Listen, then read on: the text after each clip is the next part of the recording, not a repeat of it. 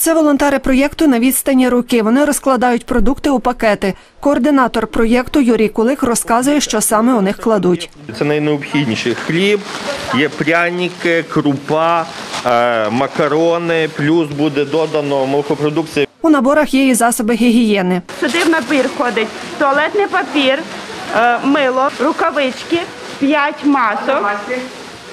І наразі це все. Це є засобом першої необхідності. Юрій Кулик розповів, кому надають допомогу. В нас є пріоритети і критерії, по яких ми працюємо. Це має бути самотня людина, це має бути інвалід, це має бути старша людина, яка не має опікуна. Або, наприклад, там два пенсіонери, які нікого в Тернополі не мають. І їм ніхто не може доставити цих продуктів. Сьогодні отримала допомогу тернополянка Марія. Жінка проживає одна. каже, за продуктами сходити нікому. Дуже дякую вам. Я не виходжу, бо я просто боюся, бо я хворію. Протягом двох днів волонтери доставлять понад 150 пакунків допомоги. Анжела Шова, Андрій Прокопів. Новини на Суспільному. Тернопіль.